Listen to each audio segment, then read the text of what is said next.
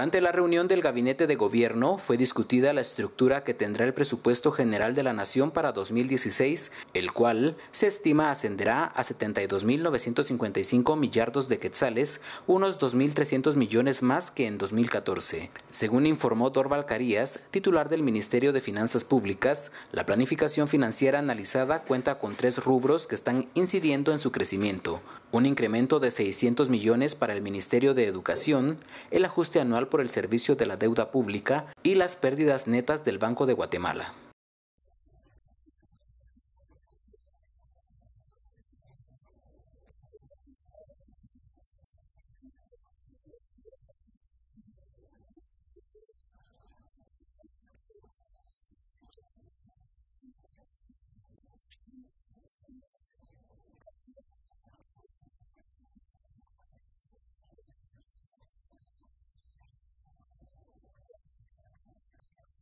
Para DCA TV informó Jarvin Yelmo.